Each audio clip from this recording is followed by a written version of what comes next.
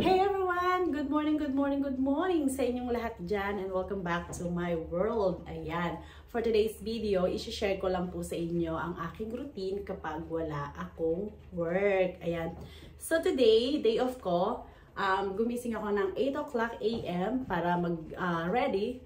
so, kasi pagka wala akong work, ako yung nakatoka na mag-drop sa mga bata sa school. Pero pag meron naman, syempre si husband. Ano naman, naghatid ako sa mga bata sa school, pero ganito yung outfit ko. Nakaano pa talaga ako panggang. Kasi magdadrive naman ako, so hindi naman ako bababa ng car. So, dadrop ko lang sila sa tapat ng school and then sila na yung papasok. Ayun.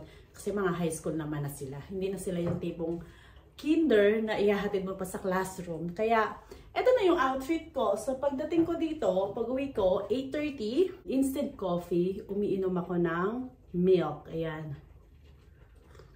Mm, warm milk para daw sa buto. Siguro ganun na yata kapag aging na. Mm. O, umiinom ako ng milk ng morning at saka nighttime before sleep. Then ngayon magagawa ako ng aking breakfast.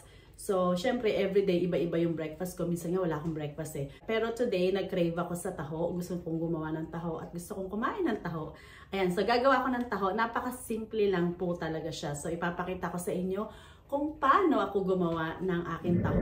So, yung ingredients niya, gagamitin natin. Syempre, yung soy milk, tapos sago, um, brown sugar, water, lang 1 teaspoon ng cornstarch, pinch of salt. Okay, let me show you how to do it, okay?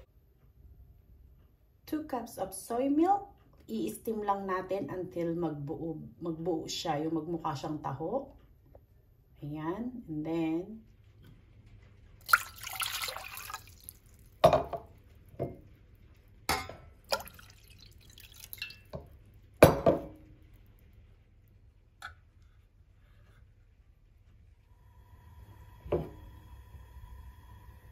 I put some soy milk dyan sa cup. Pakukuluan mo lang siya or steam mo siya. So, meron siyang water sa ilalim. So, steamer siya. Ayan. I-steam mo lang siya hanggang magbuo siya. Then, magpapakulo tayo ng tubig. Around 1 to 2 cups of water. Kapag kumulo siya, ilalagay natin ang seed tapioca sago. Ayan. Para to dun sa sago ng taho. Kaya na magtansya kung gano'ng kadami gusto niyo. Ako gusto ko kasi madami. Ayan, sago. Inuunuin na lang. Ayan, diba? Malapit na. Nagaano na yung tubig niya, yung sauce niya, moderate na. Ayan. Yan o. Oh, diba? Halo-haluin nyo lang. Kailangan bantayan nyo. Otherwise, yung sago didikit dun sa ilalim ng ano nyo pot. Para hindi siya dumikit at hindi siya magbuo-buo. Yan. See, di ba? Nawala na yung tubig kanina. Nagbo-moderate na siya. So, malapit na yan matluto. Then now, gagawa tayo ng arnibal. One cup of water. Yan. Puno na siya. 1 cup of um, 1 cup of brown sugar.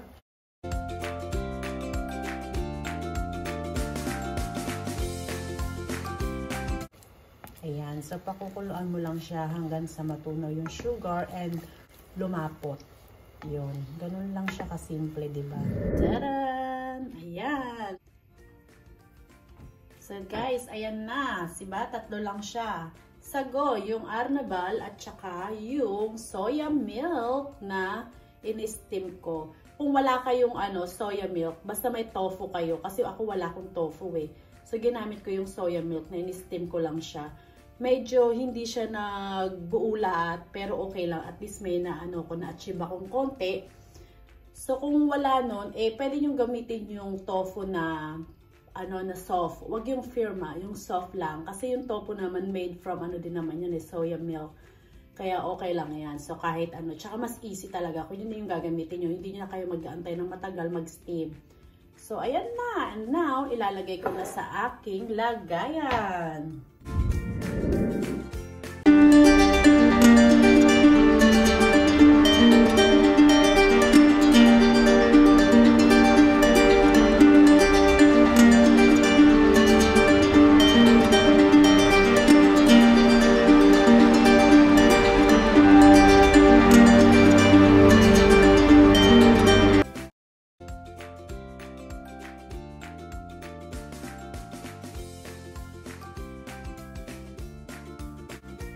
Ang sarap guys. Sobrang dali.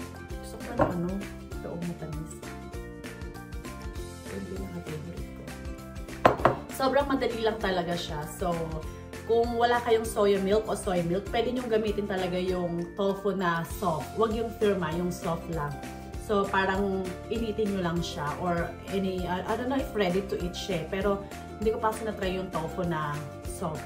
Gusto ko talaga yung soya milk na i-steam ko muna. I-steam ko lang siya. Kaya, ayan.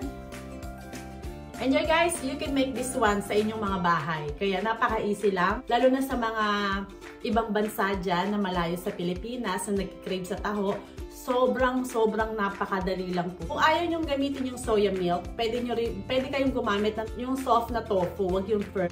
So, yun lang. Ganun lang kadali, di ba? Tapos, nakatikim ko na ng taho, di ba? Di, craving satisfied. Ayan. Hope you like this video, guys. See you later. Please don't forget to subscribe, like, watch, and click the notification bell to share this to your friends. Ayan. Thank you so much, guys. God bless everyone. Cheers! Mmm. See you both.